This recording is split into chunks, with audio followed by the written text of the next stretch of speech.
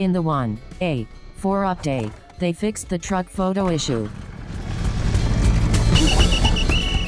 Now, you can able to take the photos with no issue now.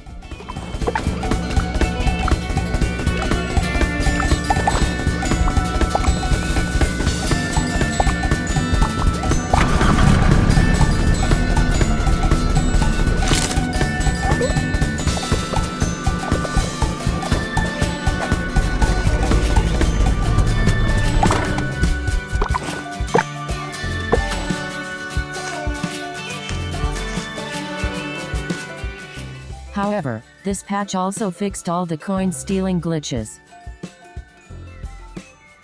You may want to hold on this patch if you want to have some quick money.